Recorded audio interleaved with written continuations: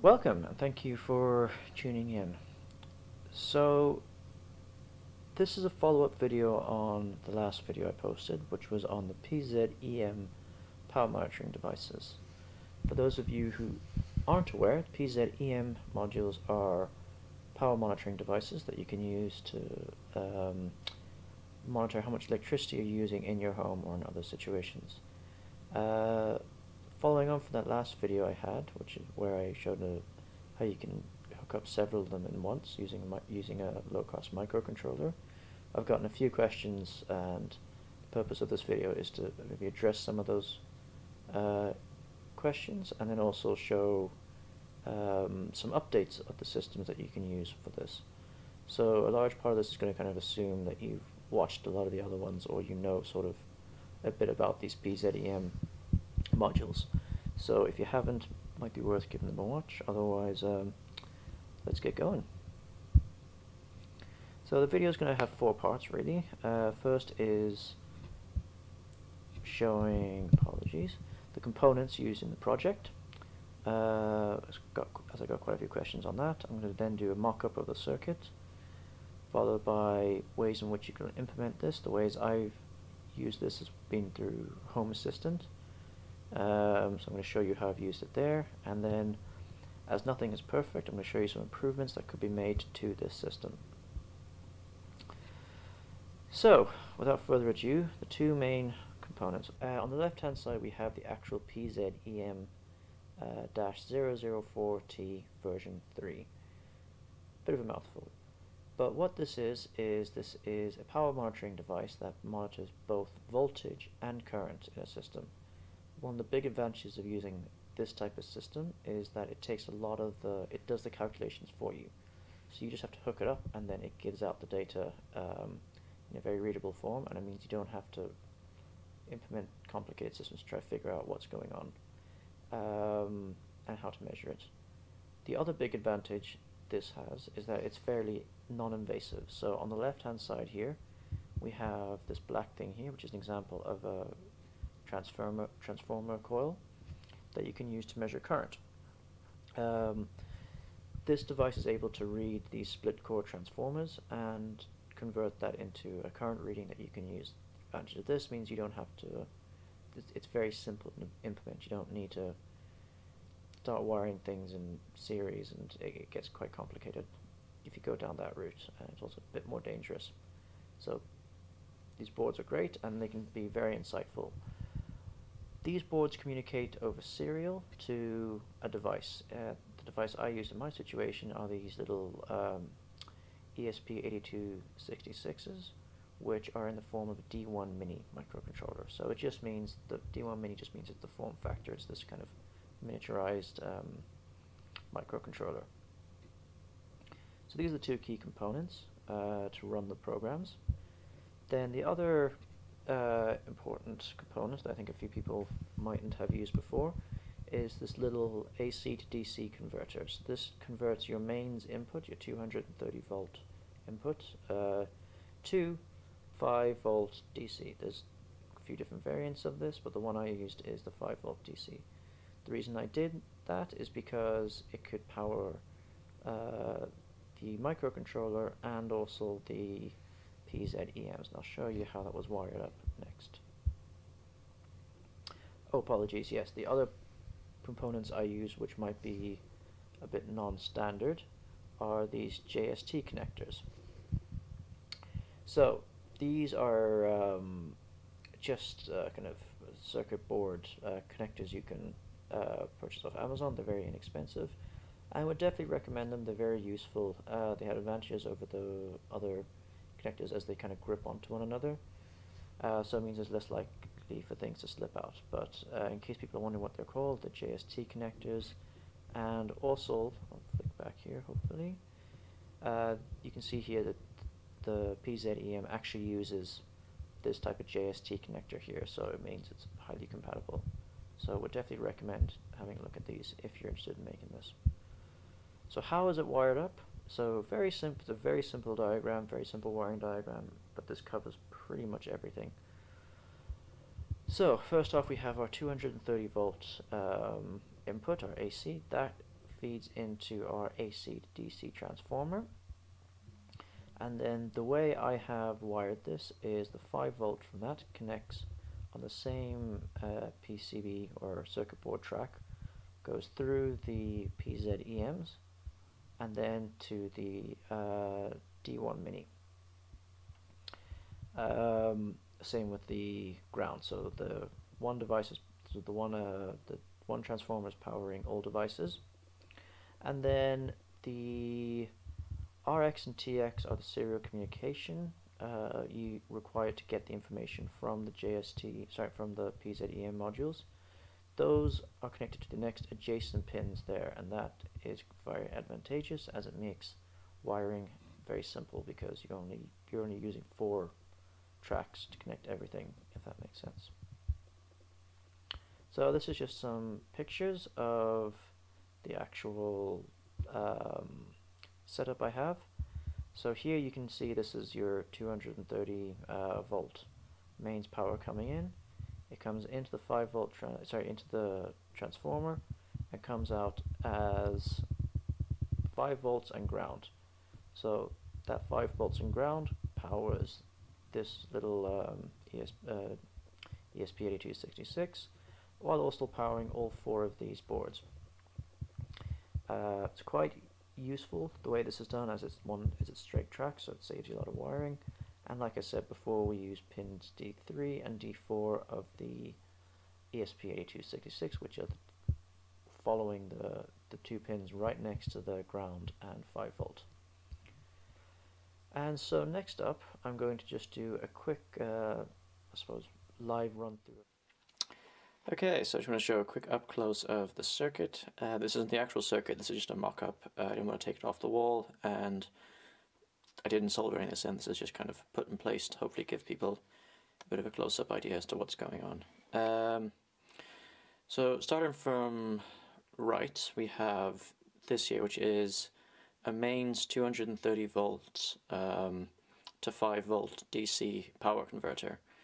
These are fairly common, I think this is like 90 cent uh, off AliExpress, worth the buy, definitely worth stocking up a couple of these, they've 5 volt versions and 3.3 volt versions and 12, whatever you want basically, and they're no more than a couple, uh, couple dollars. Um, one thing that's not in this, because uh, I couldn't find a second one, um, I salvaged an old uh, power plug from old small electronics, the kind of the two pin power plugs. I wonder if I have an example lying around here somewhere. Apologies for the shaky cam.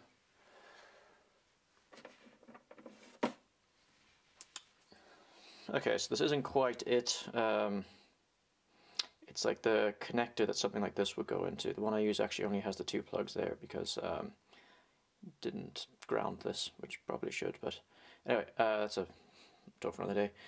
But basically, this uh, the I got the uh, the connector for that off an old electronics and just kind of soldered that in the top there. Right, so um, the circuit itself is extremely simple. So basically, you have your um, 230 volts will come in here, 5 volts will come off the top two pins. As you can see, um, these tracks are all uh, connected together, so I should say as well the, the board I use there is similar to this, the underside of it, where you see there's lines of copper traces. So basically means all the pins going this way are connected, and all the, oh sorry, all the holes going this way are connected, and that way they're disconnected. Um, so basically 5 volt goes along there, goes into the, see if I can get this without shadowing, goes into the 5 volt of this ESP uh, 8266 the D1 Mini, the 5 volt and the 0 volt, uh, 0 volt ground, all both come off that, and the PZEMs, which are all connected to these connectors, which I forget the name of, I think it's um, JC, I can't remember. Uh, list out what those are later on. Anyway, um, that powers, so all of this gets powered by that one power line there.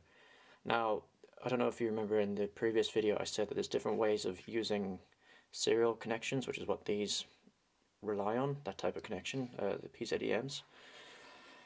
So, uh, you have what's called hardware and and kind of software connections. So in other words, there's pins here uh, which are designed with the ESP8266 to work specifically with uh, serial connections.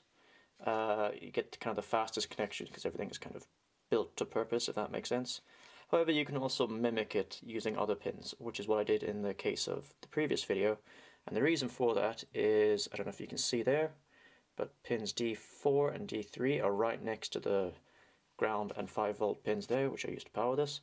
So it meant that I didn't have to solder any kind of odd connections left and right. I could just do a straight line across all of them and use 5 volt, 0 volt, D3, sorry, D4 and D3, and it would just mean that there's a nice straight line going all the way across there, and it just made soldering everything very easy. But that's it really, that's the majority of the circuit there. Um, okay, with that live demo done, just going to quickly run through some ideas for implementing this. Um, first thing I'm going to go through is creating dashboard objects, kind of the most uh, basic version I guess. Next we'll use, uh, I think, a tool called Grafana. Uh, a bit more complicated, but you get some really interesting um, analysis from the, your readings. Then lastly, I'm going to show you a new feature that, uh, that Home Assistant recently added that ties in very well with these PZEMs. So the first is just creating these dashboard objects. In other words, you create your dashboard and you simply detect the sensors that you've created using ESP Home. This is probably the setup I use the most. It's very useful. It gives you a quick 24-hour overview. Uh, you can create a basic graph showing, I think this shows the power over the day. And very useful, very uh, powerful. The only catch with this type of system is that, I suppose you can only see 24 hours behind you if that's an issue, and that the you can't reset the energy counter so the PZEM counts the kilowatt hours, or the watt hours I should say. Um, however, you can't uh, reset that. So no matter when you're, if, if you'd like to reset it every month, which is what most people probably want to do because that's what their energy bill will be based off of, you can't really do that currently with the ESP Home. Um, but that's a shortcoming of ESP Home rather than uh, Home Assistant. Grafana is a graphing tool. Um, that comes with uh, ESP, uh, sorry, Home Assistant. You can install it. I won't go into how you install it because uh, there's a few steps involved in there, but it gives you great um, insights. You can graph over months, weeks, days, hours, whichever suits you, and it's great for seeing trends. You can really see when your energy usage is high and not. Um, the only thing I would say if you're setting up, if you plan on setting up Grafana, you do have to set up a database, which if you're running a Raspberry Pi with Home Assistant, probably most people are. It's not difficult to do. There's and some some great tutorials out there on how to do that, but uh, it's an added, added step for sure. But if you can do it, it gives you great insights. Lastly, I wanted to go over a new feature that Home Assistant added recently. Um, the energy usage tab. So this is all pre-configured stuff. Uh, you add your devices to it and it outputs a lot of um, interesting information that's very readable. Uh, it also adds a few extra features such as based on your location and your usage you can estimate how much fossil fuels you're using, how much non-fossil fuels. Uh, it's designed to work with um, solar panels so if you were to introduce solar panels to your system you have a very good, very deep insight as to how much power you're using and drawing from the grid, etc. Um, yeah, so I would definitely recommend checking that out. Uh, it's free, comes with Home Assistant, and it's very powerful and integrated, and the PZEM devices are detected natively. So lastly, I just wanted to cite some improvements if uh, you wanted to redo this project, um, things you could work on. Uh, first and foremost, I'm going to put safety at the top because this circuit does deal with live electricity, uh, live current, so there is always, you have to be a bit more cautious because of that. Uh, first thing I would do safety-wise, which I haven't implemented, um, would be to put covers around everything. I plan on putting covers around it, but I also plan on adding some more devices, so I'm going to be changing things quite a bit. Um, in the coming future. So when I set that up initially, the it was only meant to be a temporary thing, and a temporary thing has now turned into uh, semi-permanent situation, but um, would definitely recommend covering all the PZEM devices uh, and the 230 to 5 volt transformer modules. Uh, PZEM devices, when you buy them, you have the option of getting a cover with them. Would definitely recommend that, unless you plan on making some change yourself. Um, the second thing I, the second improvement that could be made is introducing some sort of reset energy counter. So earlier I mentioned that you can't reset the kilowatt hours, sorry, the watt hour uh, timer. So the PZEM has a very good feature in that even if the microcontroller is offline but PZEM isn't, it'll still count the watt hours, which is important because that's what your bill is based off of. And uh, in an ideal world, you'd be able to reset that anytime your bill comes through so you can have an idea of how much things are costing you. Unfortunately, with the Home Assistant integration, that feature doesn't exist yet. However, I did put in a feature request a while back that seems to have gotten a little bit of traction, asking people, to, uh, asking if it can be added in. And you can see here, this is the GitHub page where for the ESP Home, and there is a feature request that they're currently working on, which is fantastic news. Um, they actually, I think, accidentally uploaded to the main page a while back on the documentation, so I was playing around with it. Fortunately, it's not ready and not out yet, but it looks really cool whenever they get to it, and also delighted because it's largely, I think, semi-free work that is doing this. Or so, uh, great shout to the guys. There are a few uh, threads and forums on there about how you can do it currently. Um, I tried a couple of them, didn't have any success, so personally, I'm just waiting until the reset button is is integrated. So thank you very much for watching. That uh, really covers it. Uh, covers the everything I wanted to talk about. If any more questions, please let me know, and have a good one.